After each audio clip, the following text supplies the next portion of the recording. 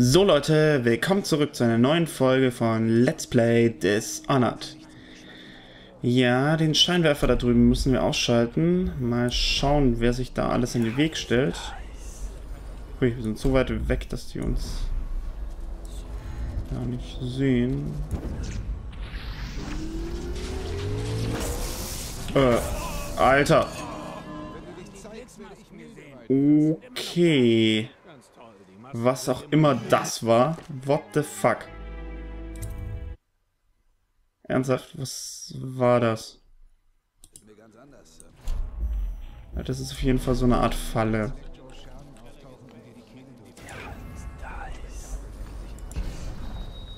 Hm.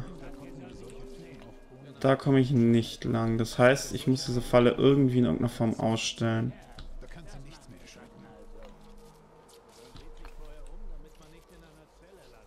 So. Wir zwei Wachen.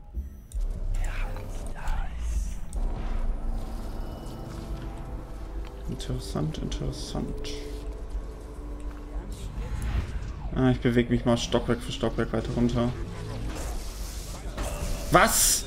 Ach, das Teil sieht einen ja wirklich überall. Och, ist das ein Scheißdreck. Ich check nicht, wie das funktioniert. Ich check wirklich gerade nicht, wie das Teil, nach welchen Kriterien es einen denn angreift. Okay. Wie schaut's aus, wenn ich mich dahin begebe?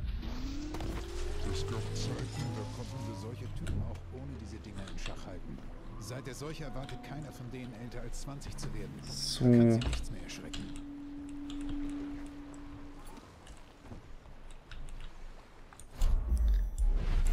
Jetzt sind wir hinter das Teil gekommen. Äh, könnte alles sehr schwierig werden. Obwohl... Es hindert mich ja niemand dran, einfach mal vorbeizuschleichen. So zum Beispiel. Okay. Viele Gegner, viele Gegner, viele Gegner. Äh, nee, ich hätte gern Nachtsicht. Genau.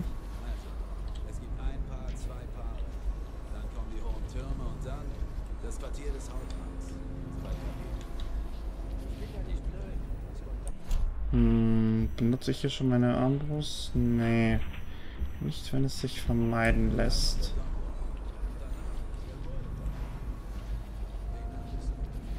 Okay, bei mir ist einer. Muss ich denn hier lang? Beziehungsweise wo muss ich denn lang? Alter.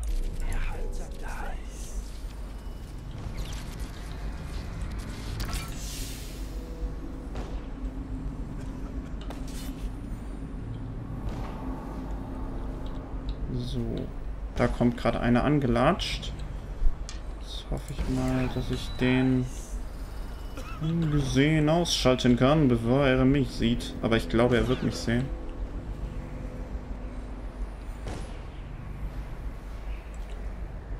So, komm, komm, komm, komm, komm, komm, komm.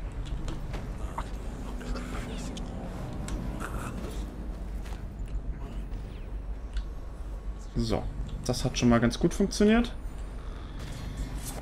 Äh, aber wo ist denn der andere hin? Da war doch noch einer, gell? Der gammelt darum. Okay. Ich vermute aber, dass der mir egal sein kann. Das ist eine andere Frage. Hier liegt eine Rune, oder? Äh. Ach, das, ach, das war noch die eine Rune, die ich nicht bekommen konnte. Okay. Ich muss da oben lang. Das heißt, den Kern muss ich in irgendeiner Form ausschalten.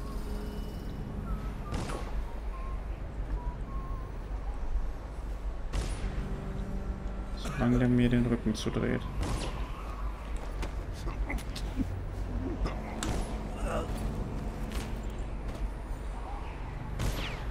Das hat mal funktioniert. Wir schießen da rum. Ich hoffe, der ballert nicht auf mich. Würde mich aber wundern. Zumindest wie der mich auf der Distanz entdeckt haben möchte.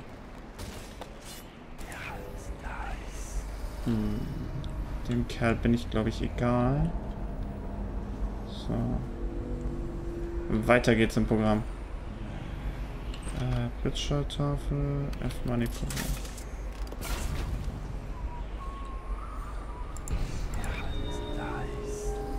Ach, gegen Gegner. Ah Gott.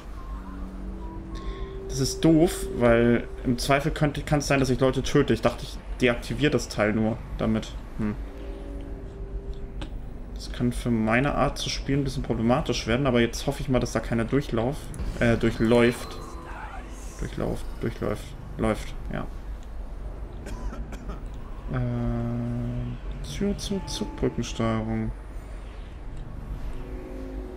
Benutze ich die Tür oder benutze ich das Seil?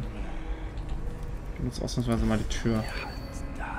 Ich bilde mir immer ein, dass wenn man den äh, Weg benutzt, der am offensichtlichsten ist, dass man da eher nicht erwartet wird.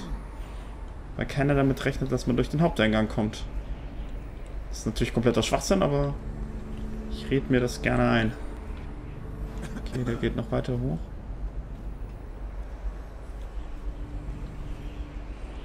Zweifel brauche ich für den Kerl... Ähm, Gott, wie heißt's? Ein Pfeil. Ja, ja. Ich glaube, das wird sonst nichts.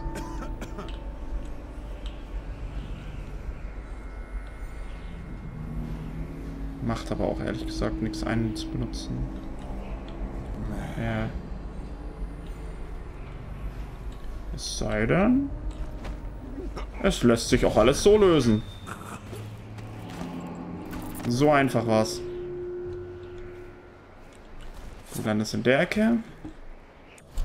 So, weiter. Nachtsicht. Äh, ich schätze mal, bis ganz nach oben muss ich, oder? Nee, muss ich gar nicht.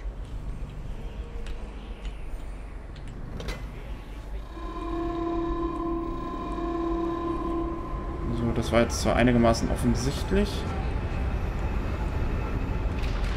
Aber erlaubt mir auch weiterzukommen. Ja, ich weiß auch, dass ich hier bin.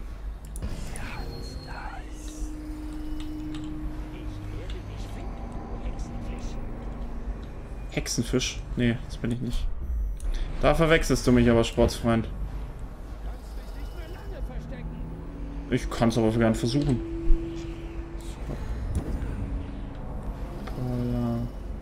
Ha, hier oben ist kein Schwein. Okay.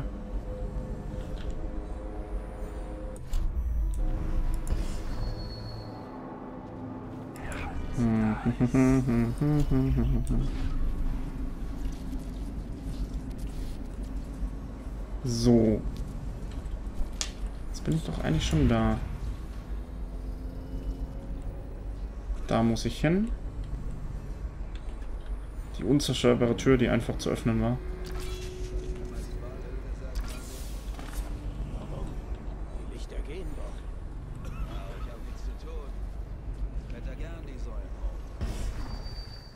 War das jetzt die Aufgabe? Habe ich erfüllt, oder?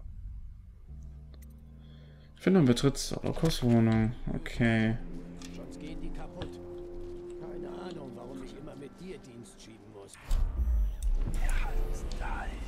Da unten sind die Typen. Die interessieren mich aber nicht. So. Da unten ist Solokos Wohnung. Jetzt ist die Frage, ist da noch mal so eine Falle? Ich glaube nicht.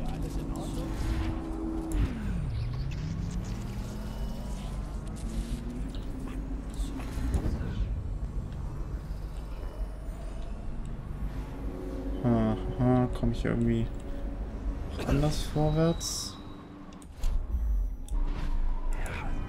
Also jetzt bin ich ja schon mal gut hier an allen vorbeigekommen. Nur die Frage, komme ich da hin? Ja, geil. Nice.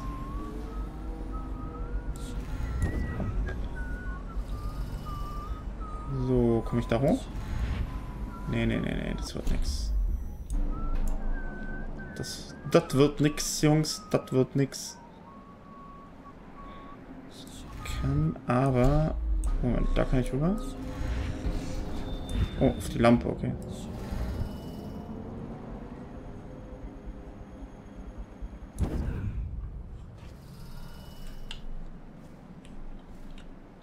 Und da sind wir auch schon bei Solokows Haus. Jo. Das ging doch wirklich gut, muss ich sagen. Viel besser als erwartet. Lass aber mal sehen.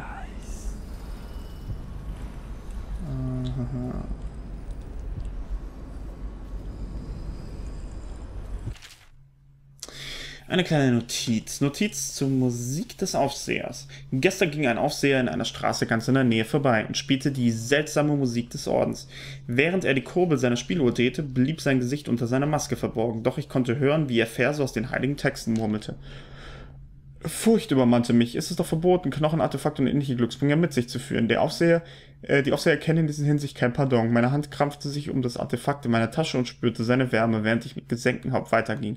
Der Aufseher ging in Richtung der Wohnung des kaiserlichen Arztes, diesen zauseligen Sokolov, als etwas Seltsames geschah. Ich könnte schwören, dass das Artefakt in meiner Hand auf die Musik des Aufsehers reagierte und erkaltete. Wie eine innere Vibration, die mit einmal aufhörte. Ich habe ein Buch gefunden, das möglicherweise damit zu tun hat und werde es studieren, damit ich vielleicht verstehen kann, was passiert ist. Ist das dieses Buch? Ja, scheint so die alte Musik.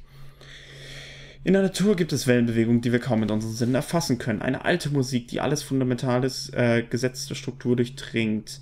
Mit ihr kann man Wunder verbringen, ohne die Natur einzugreifen oder unfreundliche Geister um Gefallen zu bitten. Bei meinen Studien habe ich eine 17 Noten umfassende Tonleiter entdeckt, die auf diesem Phänomen basiert. Mit den richtigen Gerätschaften gespielt besitzt diese Noten erstaunliche Auswirkungen. Eine besonders wichtige ist, den Sturm zu stillen, der aus dem Nichts entsteht, das wir als Werk des Outsiders ansehen. Eine 17 Noten umfassende Tonleiter. Das ist nicht wenig. Ich spiele zwar Gitarre, wie viele Noten hat eine normale Tonleiter? Moment. Jetzt muss ich, ich gerade nachdenken. Das, das lässt mich gerade nicht los.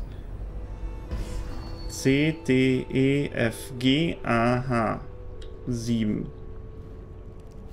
Und Halbtöne gibt es auch noch. Und, und überhaupt. Aber sieben Töne hat, glaube ich, die normale Tonleiter. Und hier habt ihr 17. Aber da verlässt mich eigentlich auch schon mein weiteres Wissen über Tonleitern. Wie gesagt, ich spiele zwar Gitarre, aber so mit der ganzen Theorie weiß ich auch nicht zu 100% Bescheid. Wenn irgendjemand Bescheid weiß, wie das läuft und wie das mit 17 Tönen funktioniert in der Tonleiter, kann er das gerne schreiben. Würde mich mal interessieren.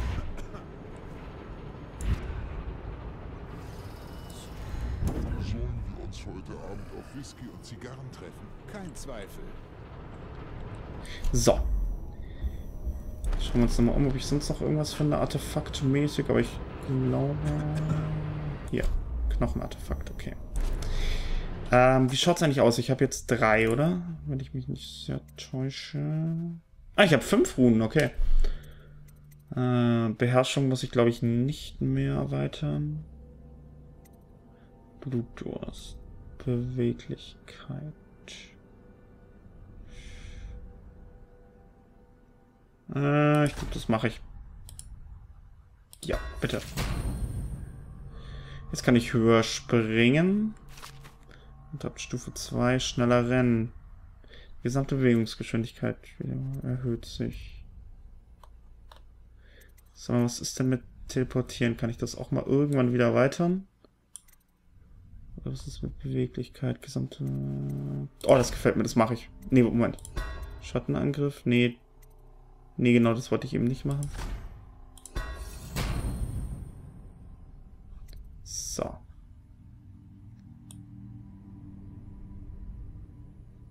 Ich schaue mir das nur gerade an. In der zweiten Stufe wird sich die Sprintgeschwindigkeit, die es dir erlaubt, schneller an einen ahnungslosen Gegner zu gelangen und ihn auszuschalten oder schneller davon zu laufen. Auch die Kletter- und Schwimmgeschwindigkeiten sind erhöht.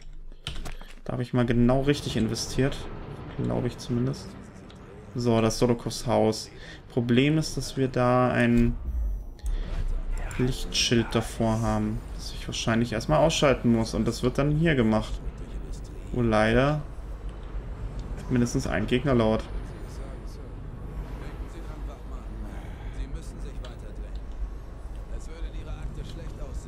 So, jetzt warte ich, bis der Kerl da ist. Dann steige ich mich von hinten an und mache ihn von hinten fertig.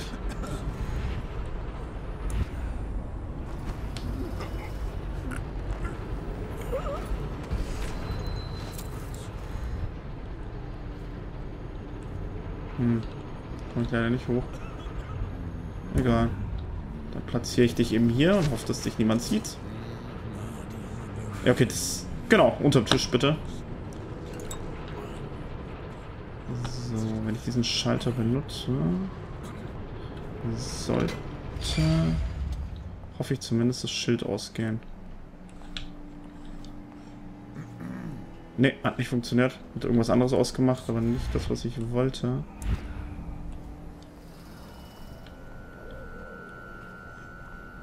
Hat das Ding denn ausgemacht?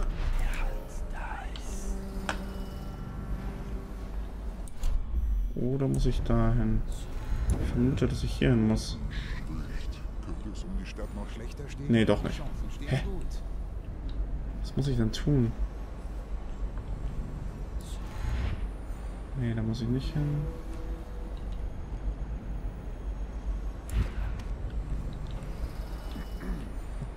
Okay. Ich hoffe, hier werde ich nicht gesehen.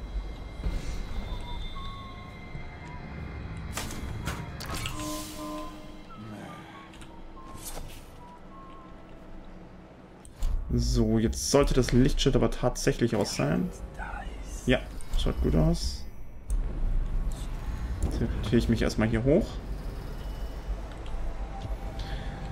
Okay, teleportiere mich, wenn es denn gehen würde, darüber.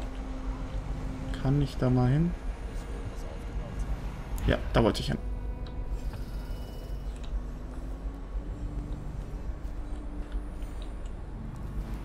Oh Gott, bitte komm hier nicht her.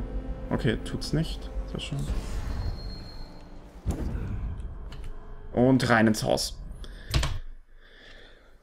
Ah, ich bin immer noch nicht drin. Ich dachte, ich wäre jetzt schon im Haus. Okay, Caldwin-Brücke. So, jetzt ist es aber wirklich nicht mehr weit. Kann ich da irgendwie hoch? Oh, jetzt... Uh, was haben wir denn hier oben? Bevor ich jetzt irgendwas mache, Nachtsicht an. Schaut zumindest auf kurzer Strecke gut aus. Was sagt mein Herz mir? Mein Herz sagt mir, dass ein Knochenartefakt über mich ist und ein Toter und eine Rune ist auch nicht weit weg und ah, hier gefällt es mir. Lauter Goodies liegen hier rum. Alles, was das Attentäterherz begehrt. Obwohl, ein Attentäter bin ich ja gar nicht töte jetzt zumindest niemanden. Zumindest war das mein Konzept. Was bin ich denn eigentlich, wenn ich kein Attentäter bin? Laufbursche wahrscheinlich. So traurig es auch ist. Moment. Oh, schön, schön, schön hier. Äh, Moment. Das sieht doch gut aus.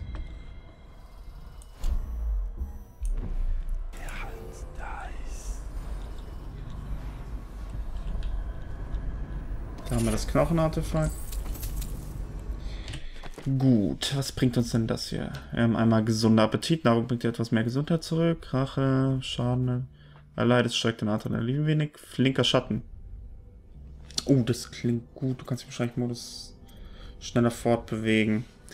Da hau ich mal Wirbelwind raus, weil das bringt uns ja eigentlich gar nichts, weil wir das Schwert eh nicht benutzen. Ich, ich muss mir mal anschauen, was ich da benutze.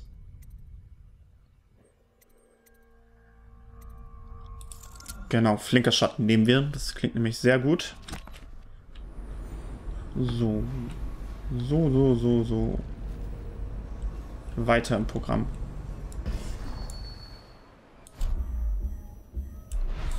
Ein Teleport bitte hierher. Einer hierher. Oh Gott, das macht so viel Spaß. Das ist wirklich... Ist eigentlich lächerlich, weil das ja nur so ein kleiner Sprung vorwärts ist, aber das ist fast das Geilste am Spiel. Das macht richtig Bock.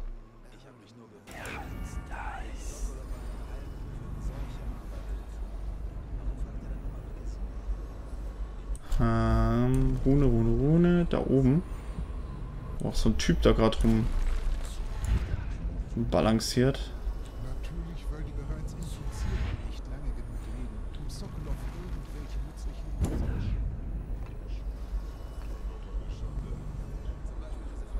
Ah, da muss ich aufpassen bei dem Kerl.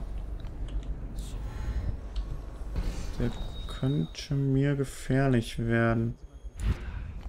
Ich nicht aufpasse.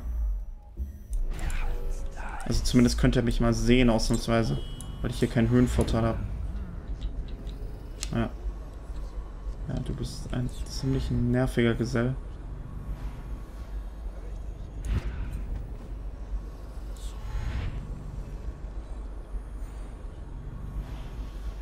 Okay, nee, nee, nee, nee.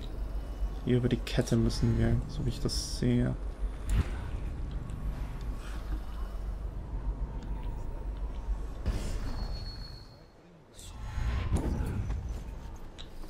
Okay. Bei dem bleibt mir nicht viel anderes übrig, als ihn so auszuschalten. Weil ich mir sicher gewesen wäre, dass er mich gesehen hätte, wenn er sich umgedreht hatte. So. Da mir diese Rune sehr am Herzen liegt... Oh Gott. Immer dieser schlechte Wortwitz. Ähm, musste ich das leider in Kauf nehmen. Ah, wir sind eh schon bei Solokos Haus. Interessant. Dann wird das wohl auch Solokov sein, oder? So. Jetzt schaue ich mir nochmal die Aufgabe an. Entführe Solokov. Ich schätze mal... Scheint hier relativ allein zu sein, der gute Mann. Dass wir uns dann in irgendeiner Form an ihn ranschleichen müssen.